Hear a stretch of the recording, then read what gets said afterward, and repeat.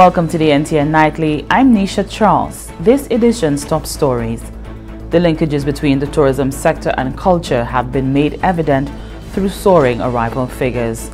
The government of St. Lucia moves towards a national spatial data infrastructure. The Sir Arthur Lewis Community College and the University of the Virgin Islands signs an MOU. All that plus the latest in youth development, sports, and the NTN Nouvelle Creole. The linkages between the tourism sector and culture have been made evident following the success of St. Lucia's Carnival between the months of June to July. Minister for Tourism, Information, Broadcasting, Culture and Creative Industries, Honorable Dominic Fedee spoke to the issue during Tuesday's sitting of Parliament. Janelle Norville reports. St. Lucia remains one of the fastest growing tourist destinations in the Eastern Caribbean. From January to July 2019, tourist arrivals have grown by 7.5%. July 2019, when compared to July 2018, recorded an increase of 13% in tourist arrivals. Arrivals from the U.S. market for July 2019 recorded a 23% increase. According to Minister for Tourism, Information and Broadcasting, Culture and Creative Industries, Honorable Dominic Fedee, the recorded figures speak clearly to the strength and demand for St. Lucia Carnival. While July uh, comes in at an aggregate of 42,773. That is the first time in the history of our country that what is considered the traditional low period, that it has surpassed a winter month or all winter months, Mr. Speaker, ever in history and also for the year of 2019. And so, Mr. Speaker, what it does is that it shows that the investment and the policy shift of this government to move away from over-investment in the Jazz Festival and to focus on our carnival, Mr. Speaker, has yielded significant benefits and it has highlighted and showcased our culture, our indigenous culture, carnival, Mr. Speaker, as the biggest festival in St. Lucia. The minister also highlighted the success of the recently concluded 9th annual UK showcase. The minister indicated that St. Lucia was able to unveil a comprehensive marketing strategy and an additional 1 million US dollars will be injected into direct advertising in the UK market. This, he said, is very important to mitigate any potential fallout stemming from Brexit. Honorable Fedee explained that St. Lucia would also be receiving increased airlift from the UK market. Meetings were held with Thomas Cook, British Airways, and Thomson, Mr. Speaker, as airlines that have indicated significant interest in advancing capacity. Therefore, Mr. Speaker, in the coming weeks, we will be making uh, very specific announcements as it relates to how the individual carriers will be expanding uh, their capacity into St. Lucia. Mr. Speaker, we estimate that based on the meetings we had, we will see, Mr. Speaker, in the region of 500 to 750 extra seats coming into St. Lucia on a weekly basis from the UK market. During the UK showcase, two fundraising charity initiatives were held, where over 1,000 EC dollars was raised for the St. Lucia Diabetes Association and the Boys Training Center. For the Government Information Service, I am Janelle Norville. Meanwhile, the Ministry of Tourism is collaborating with the Travel Foundation in developing the human resource in the tourism sector. Thursday, a press launch was held for a national action plan and capacity building workshop for hotel personnel. Anicia Antoine was in attendance. The Ministry of Tourism, in collaboration with the Travel Foundation, have officially launched the Low Carbon and Resource Efficient Action Plan for Accommodation in St. Lucia. The action plan focuses mainly on energy and waste and includes recommendations for government and related public agencies such as policy formulation, incentives and infrastructure changes, as well as recommendations for hotels and their suppliers to improve energy efficiency, reduce waste generation for sustainable procurement. Carolina Fernandez is the Destinations Program Officer at the Travel Foundation.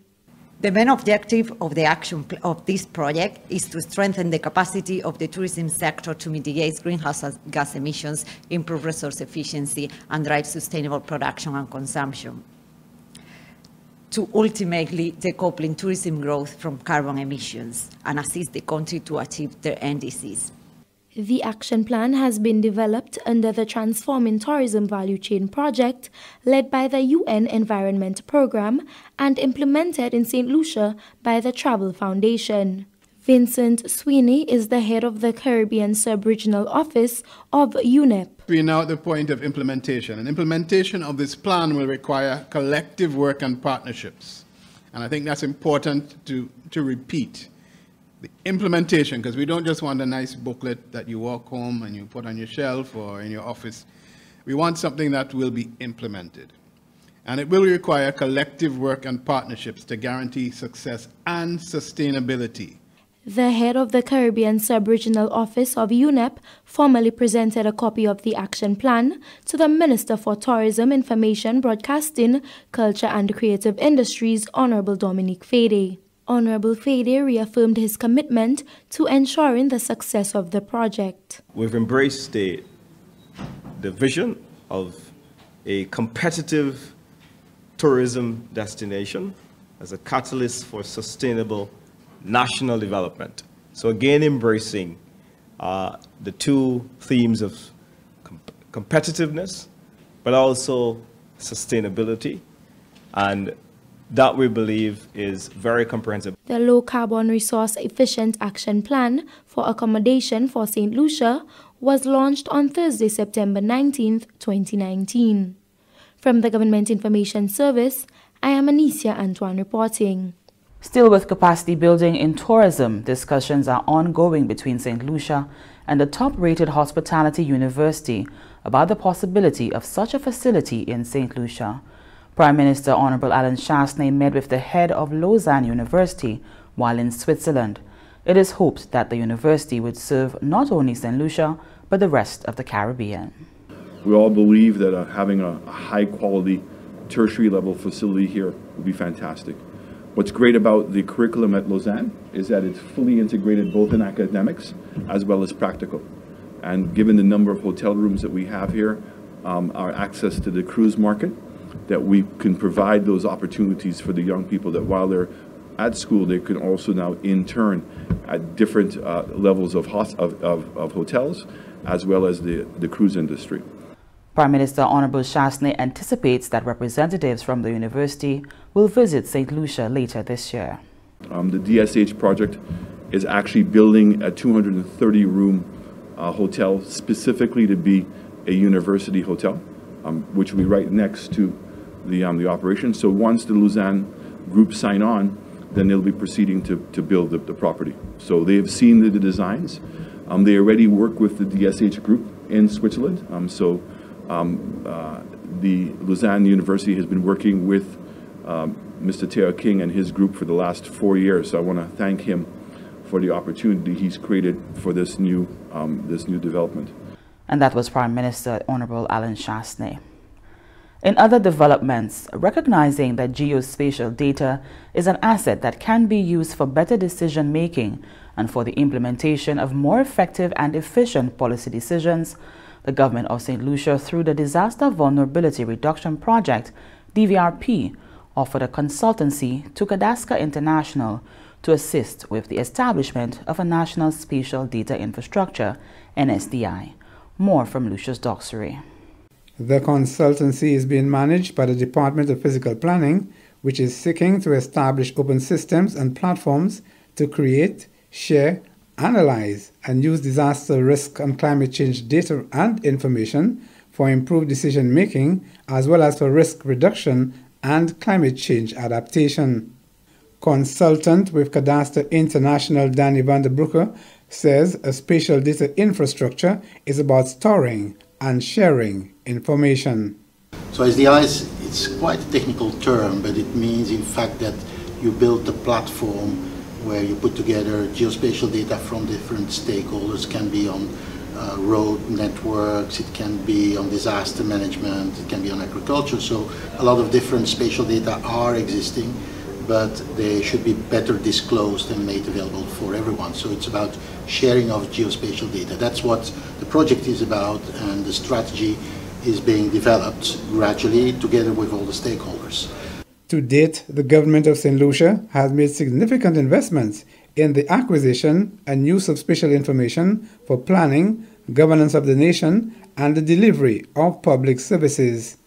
GIS officer in the Department of Physical Planning, Philip Hippolyte, says the ongoing consultancy is critical to effective decision making.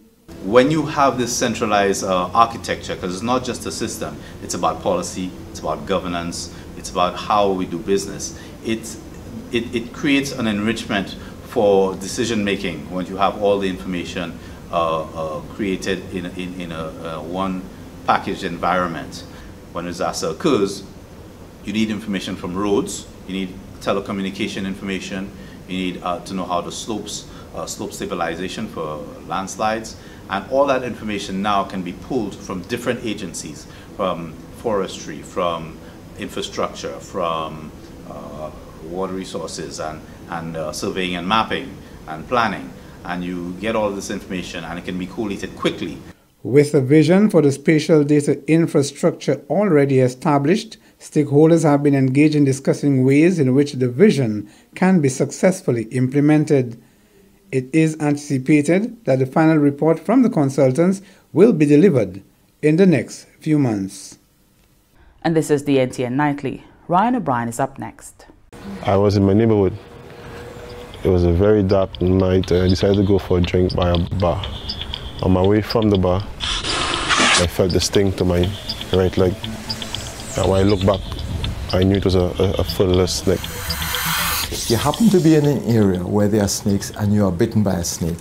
This is what you do. You call for help and try to reach the Victoria Hospital within one or three hours. You will be seen immediately. My uncle at the time was a police officer, called the um, Victoria Hospital and told them that we're coming down for snake bite. It's the only facility on the island which has a protocol and a treatment plan where you can be treated adequately. We call them before you go there so they can prepare for you.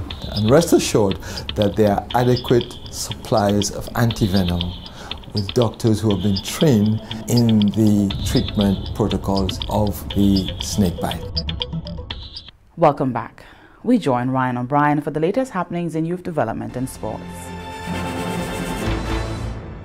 Welcome everyone to your update from the Ministry of Youth Development and Sports on the NTN Nightly News. I'm Ryan O'Brien.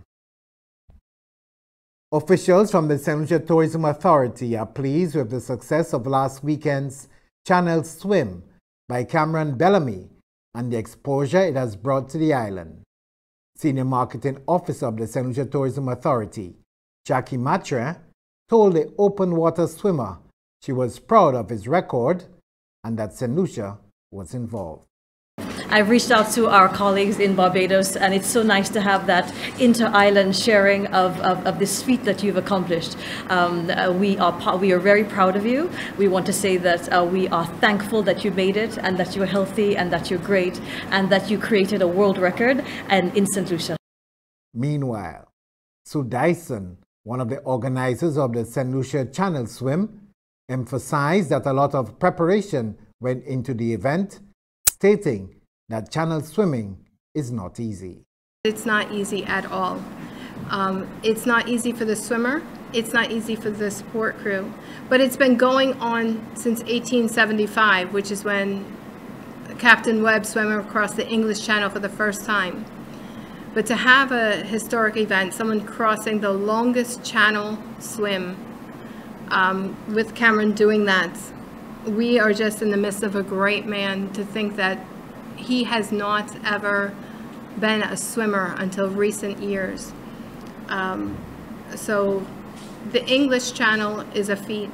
The being an Ocean 7 swimmer is even more of a, a feat. And to be the 11th person to do it, I commend you because I know that you hadn't been swimming long when you did that. So but now to, to do this, Cameron, you're just amazing. Bellamy took on a 94 mile open water swim challenge last weekend from St. Peter's Bay in Barbados to St. Lucia that ended just off Mulashi. The Ministry of Youth Development and Sports is currently making up the schedule for school sports events 2019-2020, particularly Big Eight football and netball, following a meeting on Monday at the ministry's conference room on Micoud Street with physical education teachers from secondary schools on the island. Another meeting set for September 24th at 9 a.m., this time involving primary school physical education teachers, will assist the ministry in finalizing and formatting this year's inter-school sporting events. And that's your update from Youth Development and Sports for today. I'm Ryan O'Brien. Thanks, Ryan. The Sir Arthur Lewis Community College and the University of the Virgin Islands are collaborating for the advancement of higher education for St. Lucians. A memorandum of understanding between the two learning institutions was signed on September 18, 2019, and will allow for joint faculty research and student exchange, among other things. Vice President for Business Development and Innovation at UVI, Dr. Haldane Davies, says one of the more significant areas of cooperation is the seamless transition of students from the Sir Arthur Lewis Community College to attend the UVI. By the Middle States Commission on Higher Education, which is one of the six regional accrediting bodies across the United States of America that's recognized by the U.S. Department of Education. Our colleges and schools also have individual professional accreditation. Our School of Nursing has the ACN accreditation. Uh, our uh, School of Business, AACSB accreditation. Our School of Education, NCATE accreditation. And uh, we are going on for further educations with social work, uh, with our computer programs, ABET accreditation, and uh, our School of Medicine, uh, which is currently being developed and the buildings are under construction. Every student of the Sir Arthur Lewis Community College who enrolls at UVI to pursue a bachelor's degree will receive an annual scholarship of approximately 6,000 US dollars from UVI. Chairman of the Board of Governors of the Sir Arthur Lewis Community College, John Calix, welcomes these opportunities. As Chairman of the Board of Governors of the Sir Arthur Lewis Community College, I'm therefore confident that this relationship will be will redound to the benefit of all involved. UVI can be assured of, of quality graduates from this institution earning degrees in multiple disciplines that can only help grow our economy and our society. I do want to express the gratitude of the board for the offer of a scholarship of a, to a student who will be attending uh, the university um, or any one of your campuses in the Virgin Islands. On behalf of the Board of Governors, we do thank you for making that um, um, opportunity available to the students from, from the college. I also want to thank you for the opportunity to allow our students to work at the university and also be paid for the services. And that was Chairman of the Board of Governors of the Sir Arthur Lewis Community College, John Calix. And stay with the NTN Nightly. Up next, Primus Hutchinson is here with the NTN Nouvelle en When a hurricane is approaching, safety of life and the preservation of livelihoods is most important. We should take heed. Create proper drainage along the contour of your farm. Harvest and store all crops that could be harvested, and if possible to sell any produce, do so. Reinforce farmhouses by using screws or hurricane ties to secure the roof and ensure that it is boarded up. Remove all plastic covers from greenhouses and store properly in your reinforced farmhouse. Secure all official agriculture and farming business documents and policies in sealed plastic coverings. And perhaps consider taking out a crop insurance policy to secure your agro livelihood. Take all possible precaution ahead of a hurricane or tropical storm. This is the hurricane season, and we should be prepared.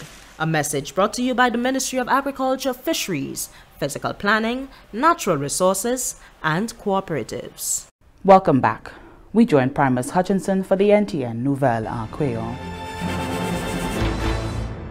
Monsieur, Madame, département qui responsabilité de formation au gouvernement CETLICIS, à CGIS, à ce télévision nationale pays NTN, capacitou nouvelle créole.